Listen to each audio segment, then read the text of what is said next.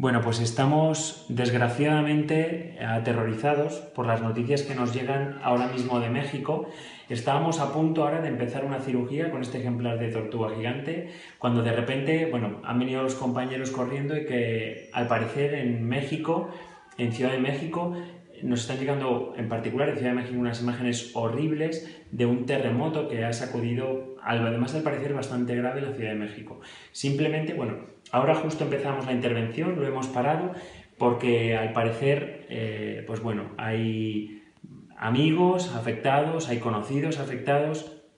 y queremos mandar todo nuestro apoyo, todo nuestro cariño,